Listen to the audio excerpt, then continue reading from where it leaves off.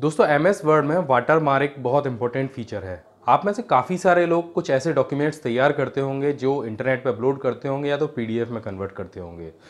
और वो डॉक्यूमेंट्स कोई दूसरा कॉपी ना कर ले या कोई और उनको यूज़ ना कर ले, वो आपकी ही प्रॉपर्टी रहे तो इसलिए तो वो डॉक्यूमेंट कोई और यूज़ ना कर ले, वो आपकी ही प्रॉपर्टी रहे तो इसलिए वहाँ पर यूज़ किया जाता है वाटर मार्क का।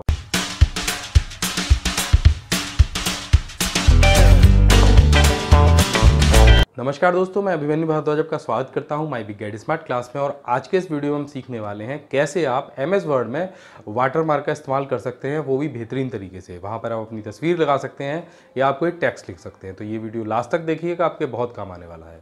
तो जैसा कि आप यहाँ पर देख रहे हैं एम एस वर्ड में मैंने यहाँ पर तीन पेज टाइप किए हैं और ये पेज मुझे किसी को पीडीएफ में कन्वर्ट करके ई बुक के तौर पर भेजने हैं।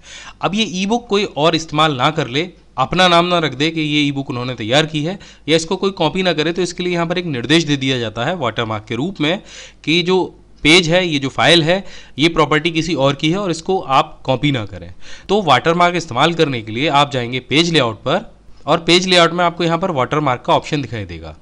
यहाँ पर आप देखेंगे कि वाटरमार्क लगाने के लिए यहाँ पर चार ऑप्शन दिए गए हैं। दो ऑप्शन यहाँ पे कॉन्फिडेंशियल के लिए हैं और दो ऑप्शन यहाँ पे डू नॉट कॉपी के लिए है। जब आप इनमें से कोई भी एक ऑप्शन सेलेक्ट करते हैं तो आप देखेंगे डू नॉट कॉपी का जो टेक्स्ट है आपके पेज पर बहुत लाइट कलर से डिस्प्ले होने लग जाएगा। जब भी आप नया पेज बनाएँगे तो ये जो टेक्स्ट है, ये अपने आप अगले जितने भी पेज आप बनाएँगे, उन पर अपने आप आ जाएगा। लेकिन अगर आप यहाँ पर कुछ और लिखना चाहते हैं, जैसे आपकी कोई वेबसाइट है, उसका नाम लिखना चाहते हैं या अपना नाम लिखना चाहते हैं तो आपका जाना होगा कस्टम वाटरमार्क में। यहाँ पर इस पर क्लिक कीजिए और नीचे यहाँ पर कस्टम वाटरमार्क का ऑप्शन दिया गया है। इस पर क्लिक कर दीजिए। यहाँ पर आपको तीन ऑप्शन दिखाई देंगे। पहला नो वाटरमार्क दूसरा पिक्चर वाटरमार्क और तीसरा टेक्स्ट वाटरमार्क अब यहाँ पर टेक्स्ट वाटरमार्क में कई सारे ऑप्शन दिए गए हैं, जैसे font size font colour font style, text क्या लिखना चाहते हैं आप और लैंग्वेज, भाषा कौन सी इस्तेमाल करना चाहते हैं? तो अगर आप हिंदी में लिखना चाहते हैं तो यहाँ से हिंदी सेलेक्ट कर लीजिए।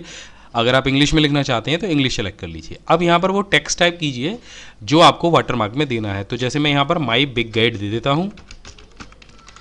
मैंने यहाँ पर माई बिग गाइड टाइप कर दिया। अब यहाँ से मैं फॉन्ट सेलेक्ट कर लेता हूँ। जो भी फॉन्ट मुझे वाटरमार्क के लिए ठीक लगेगा तो मैं यहाँ से ये कॉमिक सेंस ले लेता हूँ और साइज़ में यहाँ पर ऑटो रखता हूँ। अगर आप चाहें तो आप कोई भी साइज़ रख सकते हैं, लेकिन अगर आप ऑटो रखेंगे तो वाटरमार्क आपके पेज पर अपने आप सेट हो जाएगा। अब यहाँ पर आता है कलर का नंबर तो अगर आपके पास लेज़र जेट प्रिंटर है तो आप जो ग्रे स्केल कलर है, उसी का इस्तेमाल करें, क्योंकि लेज़र जेट में आप अगर लाल, नीला, पीला या जो भी कलर आप यूज़ करेंगे तो वो आपका काम नहीं करेगा। तो जो बेस्ट कलर है, वो यही है। वाटरमार्क में आप इसी को इस्तेमाल करें और यहाँ से सिर्फ़ इसे अप्लाई कर दीजिए और ओके कर दीजिए। आप देखेंगे कि सभी पेजेस पर जो हमने वाटरमार्क लगाया था माई बिग गाइड वो आ गया है। इसी तरीके से आप पिक्चर वाटरमार्क का भी इस्तेमाल कर सकते हैं। आप दोबारा से वाटरमार्क में जाइए, यहाँ से कस्टम वाटरमार्क को सेलेक्ट कीजिए और यहाँ पर आप चले जाइए पिक्चर वाटरमार्क पर। यहाँ भी आप स्केल ऑटो ही रखें, इसके बाद यहाँ से आप पिक्चर को सेलेक्ट करें। देखिए, यहाँ पर मैंने माई बिग गाइड का लोगो लिया है। आप अपना फ़ोटो भी ले सकते हैं। बस इसको आप सेलेक्ट कीजिए और यहाँ से इंसर्ट कर दीजिए। तो अब यहाँ पर आप देखेंगे, ये जो पाथ है, जहाँ पर मेरी फ़ाइल सेव थी, वो यहाँ पर आ गया है। इसके बाद यहाँ पर आपको एक वॉश आउट का ऑप्शन दिखाई देगा। ये क्या करेगा कि ये आपकी इमेज को बहुत हल्का कर देगा, ताकि वो प्रिंट आउट में बहुत लाइट कलर की नज़र आए, आपके टेक्स्ट को कवर ना करे। और यहाँ से आप स्केल ऑटो ले ही लेंगे, इसको यहाँ से अप्लाई कीजिए और ओके कर दीजिए। तो आप देखेंगे जो पिक्चर वाटरमार्क है, वो आपके पेज पर कुछ इस तरीके से दिखाई देगा। अगर आप चाहते हैं इसे थोड़ा सा डार्क और करना तो आप यहाँ से वॉश आउट के ऑप्शन पर टेक हटा दीजिए और इसे ओके कर दीजिए। तो ये जो पिक्चर वाटरमार्क है, ये थोड़ा और डार्क हो जाएगा। लेकिन हो सकता है कि प्रिंट आउट निकालते में ये आपके टेक्स्ट को कवर कर ले तो अगर आप वॉश आउट का इस्तेमाल करेंगे तो ज़्यादा बेहतर रहेगा। अगर आप चाहते हैं वाटरमार्क को हटाना तो बस आपको रिमूव पर जाना है। तो ये वाटरमार्क सभी पेजेस से हट जाएगा। तो इस तरीके से आप वाटरमार्क का इस्तेमाल कर सकते हैं अपनी फ़ाइल या किसी पेज को सिक्योर करने के लिए और ये बताने के लिए कि वो पेज आपने बनाया है, वो आपकी प्रॉपर्टी है।